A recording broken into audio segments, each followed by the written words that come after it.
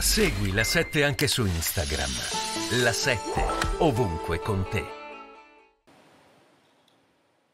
Eh, ho capito Vannacci, no? Sai, quando leggi, io ho letto solo i sommari, diciamo, di questo libro, ma eh, quando leggi quelle robe lì, pensi, vabbè, ma allora dai, sciogliamo l'esercito, sciogliamo le istituzioni e facciamo un grandissimo bar, un bar, il Bar Italia e quindi dopo sta cosa a me mi resta una domanda, una domanda sincera che vorrei fare.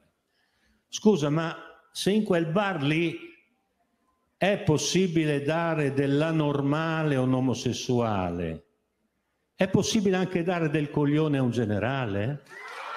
Cioè, allora, senta, eh, Bersani, intanto eh, l'abbiamo sentita dire una parolaccia. Allora, eh, il generale eh, Vannacci ha sdoganato il diritto all'odio e, e lei per rispondergli sdogana il turpiloquio?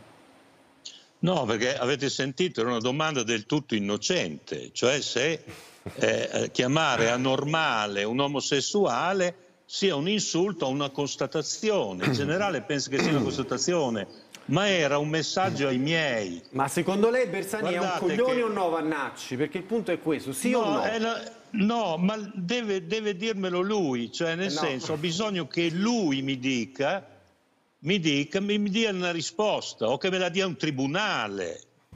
Allora, io però il messaggio era ai miei, che voleva dire guardate che quel bar lì non è mai vuoto, che non è solo Vannacci e se questi vogliono sdoganare l'odio non possiamo rispondere in greco antico o in inglese o chiedendoci come si è fatto per giorni e giorni se un generale può parlare. Dica quel che vuole, ma lo dico anch'io però in quel bar Italia lì non stiamo fuori a giudicare il bar, andiamoci al bar Questo e facciamoci capire.